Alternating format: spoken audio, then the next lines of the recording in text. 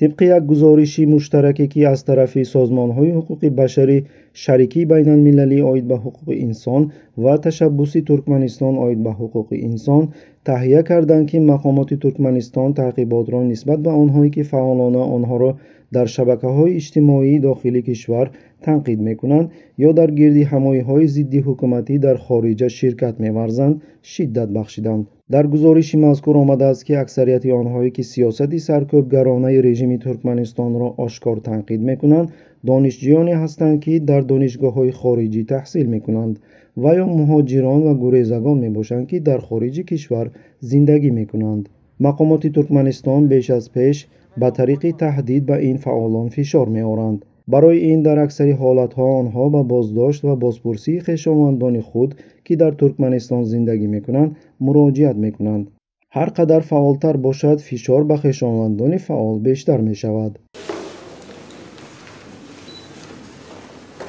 Илова бар воситаҳои тарсонидан мақомот инчунин ба кӯмаки мақомоти кишварҳои дӯсти худ муроҷиат мекунанд масалан фаъолоне ки дар амалҳои зидди ҳукуматӣ дар русия ва туркия ширкат доштанд аз ҷониби маъмурони амниятии маҳаллӣ боздошт шуданд ва донишҷӯёни туркман низ аз ҷониби маъмурияти донишгоҳҳояшон огоҳонида шуданд.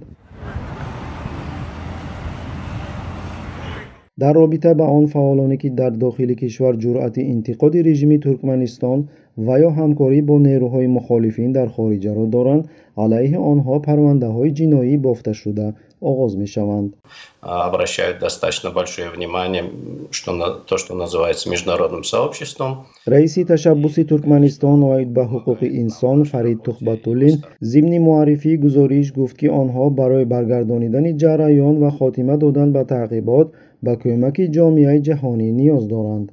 Против вашего правительства так вот начните следить еще ближе так как нас больше с каждым раз. Қобили зикр аст ки ҷомеаи ҷаҳонӣ си сол аст ки барои ҳамкорӣ бо режимҳои ҳукмравоии кишварҳои минтақаи осиёи марказӣ шароити мутақобилан судмандро меҷӯяд ва аз ҷиноятҳои содиркардаи онҳо чашм мепӯшад танҳо гоҳ-гоҳ саволҳои марбут ба сиёсати саркӯбии мақомоти минтақавиро ошкор мекунад ва он ҳам бошад танҳо дар он замон ошкор мекунад ки ба манфиатҳояшон рост ояд с терроризмом.